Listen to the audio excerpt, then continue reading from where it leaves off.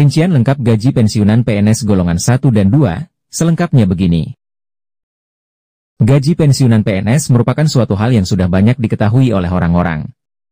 Di tahun 2024 ini saja, gaji tersebut naik 12 persen.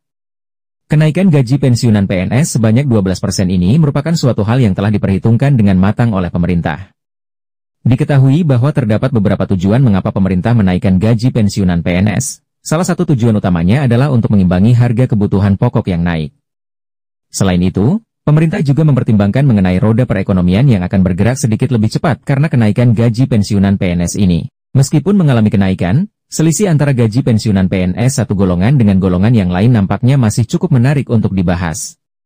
Berikut ini adalah rincian langsung antara gaji pensiunan PNS golongan 1 dan 2, simak selengkapnya sebagai berikut ini.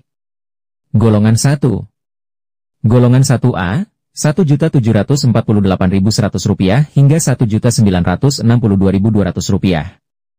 Golongan 1B, Rp1.748.100 hingga Rp2.077.300. Golongan 1C, Rp1.748.100 hingga Rp2.165.200. Golongan 1D, Rp1.748.100 hingga Rp2.256.700. Golongan 2.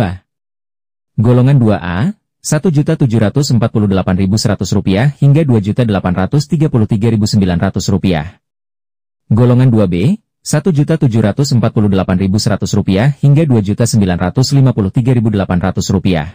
Golongan 2C, Rp1.748.100 hingga Rp3.078.700. Golongan 2D, Rp1.748.100 hingga Rp3.208.800.